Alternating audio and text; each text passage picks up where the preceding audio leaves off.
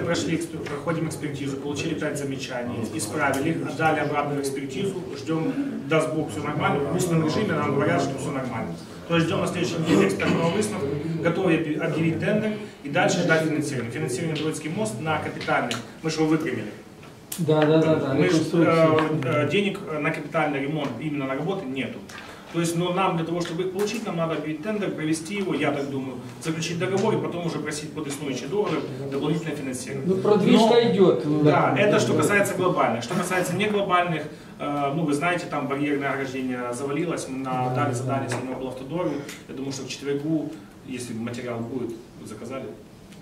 Ну, не, не факт, что четвергу будет. У мене не Мы, запитання. мы сделали, дали задание, чтобы установить барьерное ограждение полностью по Троицкому мосту на время. Это как временная мера.